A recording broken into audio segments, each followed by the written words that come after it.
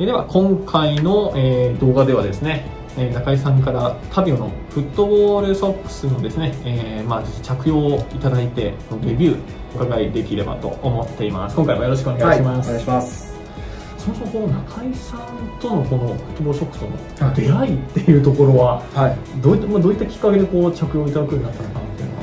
6年前とかはい。なんか思うんですけど、はい。僕神戸出身で神戸の街を歩いてたら靴下屋さんがあったんですあの兄が服が好きでプレゼントを買おうかなみたいな。で見てたらはい。であったんですよ。そこに。あこれが。でえー、なんだろう？みたいな。で履いてみようと思って履いたのがきっかけでしたね。たまたま？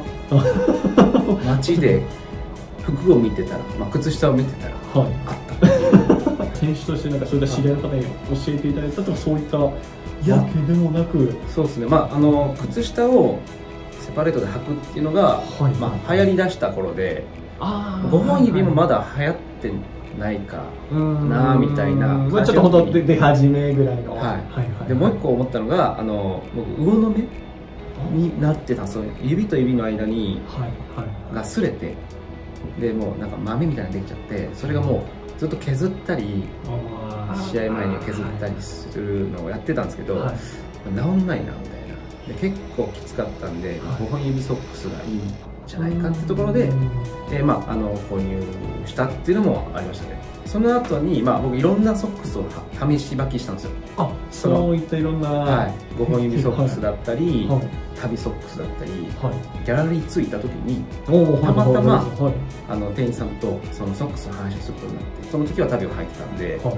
旅のことを熱弁してたらはい。終わった後に写真撮ってはい。アップしたらそのタビオのツイッターから反応があって はいはい。で DM 僕が送ってはい。でやり取りして応援してくれるみたいな形になったっていうのが それが僕は嬉しいですね。えマジかみたいはいきっかけとしてはですもんねこの付き合いを始めさせていたな、だいたきっかけとして。それがもう僕からしたら嬉しいなっていう。はいはいそれこう試合とかで履いていただいての、まあ、実際こう着用をいただいて、まあ、感想といいますかそういったレビューのところをぜひちょっと教えていただければなと、はい。はい思っているんですけど、まあ、特にこういったプレーの時にすごく良かったなとか、うん。そういったちょっとお話を伺えればなと、はい。思いますので。えーまあ、僕こう結構感覚で物を選んだりするというか履いてみてなんか良かったなとかこの感覚で行き着くんですけどやっぱりタビオが良くてそれはなぜかっていうとなんかこうちょうどいいんですよねいろんなものが。全部がちょうどいい。なんかこう履いててもストレスないしはい。こうグリップも結構しっかりしてるグリップだとちょっと気になったりはい。するんですけどグリップの剥がれ方がもうベリッと剥がれちゃったりうん。するんですけどえータビオの場合はなんかそのグリップも削れていくというかなんかすり減っていく。はいはいはい。でなじそれも馴染むにあと指と指の間も薄いんでうん。なんかこう素足感覚というかはい。インソールもあのお気に入りがあるんですけど、はいはい。シューズインソールソックス足じゃないですか。うん。はい。そこの一体感が生まれるのが、まあ、そのインソール回して、えータビオソックス。はい。で、えー自分の足っていうのがもう自分の中ではもう完璧ですね。こうシュッてなる。まあ本当このフィット。フィット感ね。んですよね。はいはい。はいそれがフィット感ってやつね、は いそれがフィット感です。もうえっと自分の本当感覚なんで僕は。いはい。あの試合中に、はい。えー靴と、えー例えば、まあ、インソールがずれたりうん。するわけじゃないですか、はい。それがないですし、うん。えーまあ、ないゼロではないですけど、うん。その感覚的にはないというか、うん。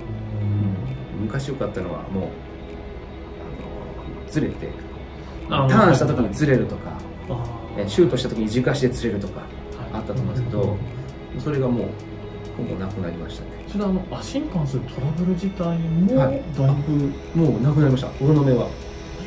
はい。もう助かりました。本当ありがとうございます。本当にはい。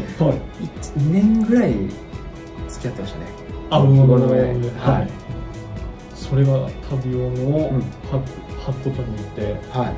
5本指ソックス探してもらってはいもうどこだかな。薬指と中指の間なんですけどはいはいはい。ここにはいここここですね薬指はい。はい。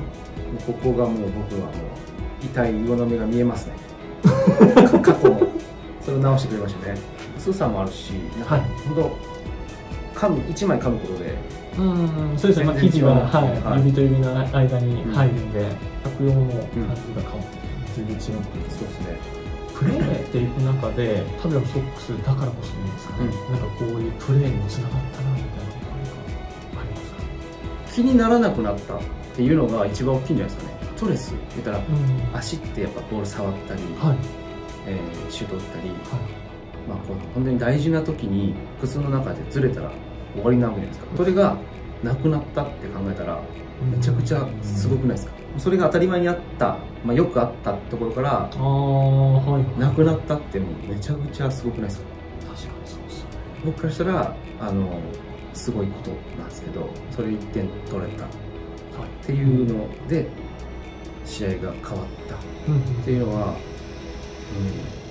うん、まあプレーにつながったなとは思いますけどね、まあ点取ることが仕事なんで。はいはいはいはい勝つことが仕事なんでうん。まあそれが影響されてたことに対してそれがなくなったっていうのが大きいですよね。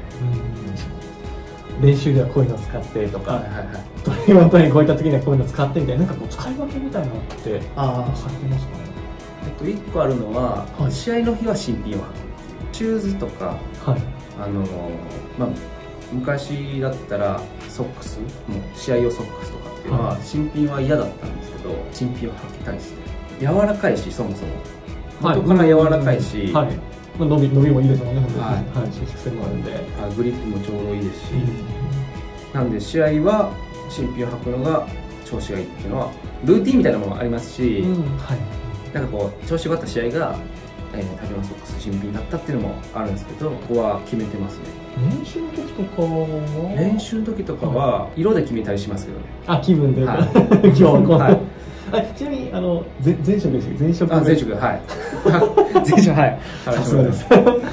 じゃあ本当にその時の気分でうん。どの色を履こうかなと、そうですね。だから練習着はまあ白とか黒の時とかは、まあ、ピンクとか、あのー明るいうん。水色とかを履くのはちょっと意識してました、まあ赤の時とかは逆に白履いたり、は ちょっとそういった気持ち、ちょっとパロメーター的はない。形で、い、そうですね、ま色を変えていただいて、あ、楽しい楽しいですね、はいうん。ありがとうございます。5本指今のも、えー、とご使用いただいてはい。はいるんですかね。はい、あちなみにどの種類のやつになりますか？あね旅ですね。旅型のやつ。もはいはいはい。ちなみに旅型はどういった時にはい、あの使用いただくものになるんですかね？トレーニングの時はうん多いですね。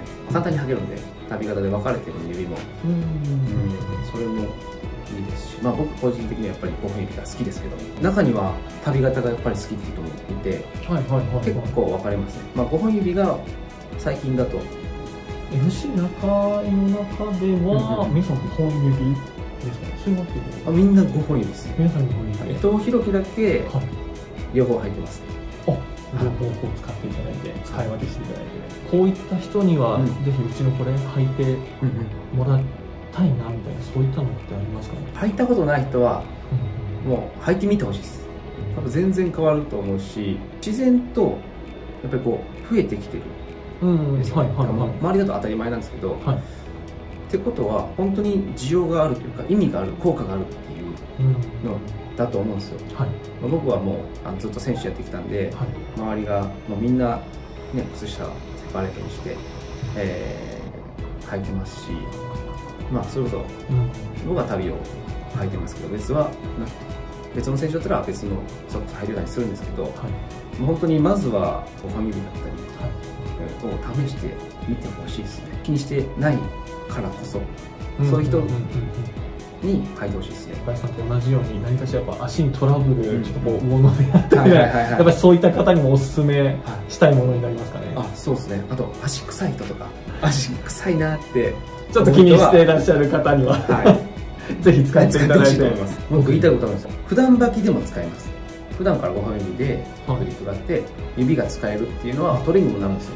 普段履きでも履くのはめちゃくちゃいいと思います。ね本当に本日ははい。ちょっといろんなご質問をお答えいただきありがとうございます、ますもう中井さんのこううちに対するちょっとこう愛っていうのをはい。すごく感じることができて私たちがとても嬉しいインタビューになりました。僕も嬉しいです。愛は前からあったんですけどねはい。こうやって関わらせてもらって応援してもらってなおさら、はい。なおさらというかさらにはい。なんかこう嬉しかったしまあ本当勝ちたかったですけど、そこはね、どのチームもチャレンジしてると思うんで、そうですね。まあ勝敗が決まるものなんで、悔しいですけど、はい、本当に、あれが受け入れてよかったなと思います。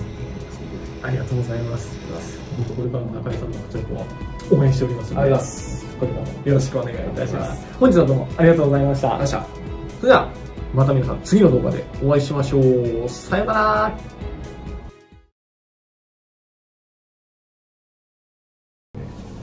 これですね。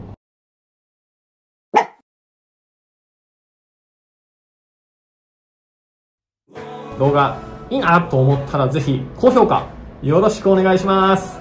お願いします。また、えーチャンネル登録もですね、ぜひよろしくお願いいたします。